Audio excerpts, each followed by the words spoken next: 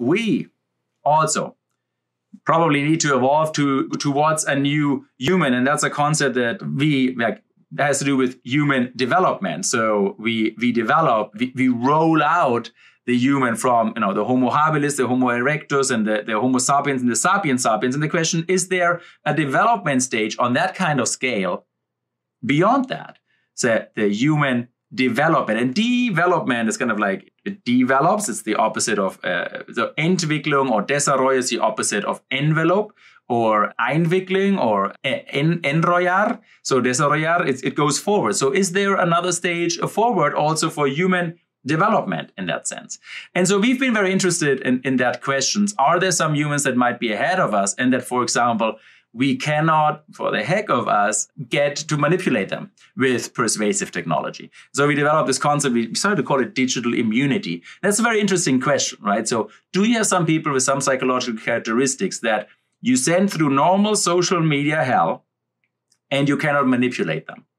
And Yes, there is there there are some characteristics. We don't understand it really yet, but it seems to do it seems especially for people who are uh, who basically have transcended their mind. The, the technical term is self-transcendence. That Maslow, remember Maslow from the from this pyramid of needs, the Maslowian pyramid. On top of this pyramid is a stage that's called self-transcendence. So these are very few in between between us that transcended their mind and look at their own mind. It's kind of like from a third person perspective almost the, the thoughts and emotions some of them are really talking about themselves in third person but then once you try to that, that's what these these technology are extensions of the mind so once you latch on uh, and since they're non-attached they transcended their own like mind they can choose to engage but don't have to then also it makes sense it's actually the low hanging fruit that they're also non-attached to, to, to the manipulations of the mind extensions. And, and that's the question, right? So who is really in charge? So these are extensions of the mind that log onto your mind. And in the Anthropocene, well, supposedly we are the ones who are in charge. Brings me back to the beginning. Now, to take one of these books uh, that tell you how to get you hooked, it says explicitly, I found it very interesting. To initiate online action, doing must be easier than thinking. It needs to be done with little or no conscious thought. So the best way how you can people into pervasive technology, how you can like predict their behavior and make them do whatever you want to make them, make them click, make them view, make them like, make them dislike, make them interact, make them engaged is without consciousness. Like be unconscious, almost like a wheel in the clockwork. And that's now the question. Is there, is there more, right? What, what happens in the space of consciousness? And that leads us to, to this research. Is there a homo conscientis beyond the homo sapiens? And actually some researchers define mental health as that that has this conscious space that are mindful mindfulness very important term here, of what's happening with their mind. So may defined in the 1960s defined mental health as the capacity to be aware of the gap between stimulus and response together with the capacity to use this gap constructively.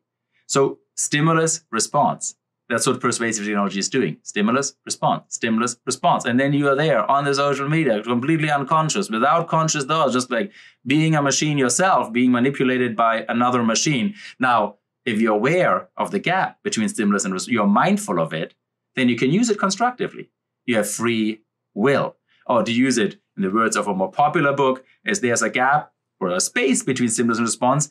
And the key to both our growth and happiness is how we we use that space. And we saw that especially you know the pandemic has been very interesting because people have kind of like we're forced into a forced marriage with our digital technology. Because of social distancing we all had to stay home for a couple of years and it became much more intense. And during that time we did some research uh, for the united nations in, in latin america actually and we used facebook data uh, themselves to see what's happening with people in latin america. And one thing that i found fascinating is interest in meditation increased a lot so if you have the, the among the percentage of the population, female, but women, of course, always ahead. No, over 20% from know, a little more than 10%, almost double. Same for men, from less than 5% to more than 10% of the population in Latin America got during the pandemic interested in meditation.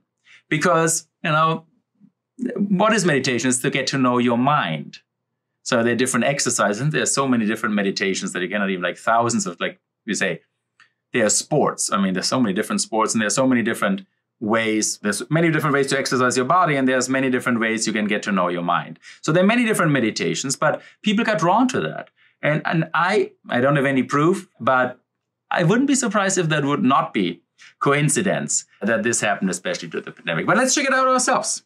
Let's have a little a little test here. Right live. Uh, two important concepts that i always use is once you're engaged with social media with persuasive tech or with this technology use the word stop and wait a lot. Stop stays for, well, stop, take a breath, and observe. Observe what's going on with your mind. What's going on with it? What do you think about what I just said here? What are the emotions that this triggers?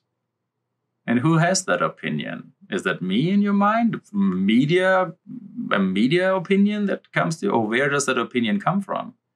And who is in charge when you're mindful of your mind? And proceed. And now, when you want to comment, that's when you consume. Stop sometimes. And when you want to be proactive, uh, wait. Ask yourself, why am I talking? And if most of us would do that more regularly, I think the amount of things that are on you know on our platforms would probably be a little bit higher quality.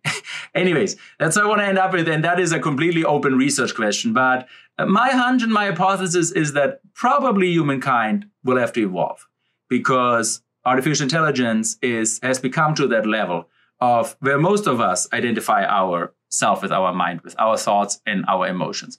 But it's also pretty clear that there's more than our thoughts and our emotions to make us human. And we might have to evolve towards more identifying with that.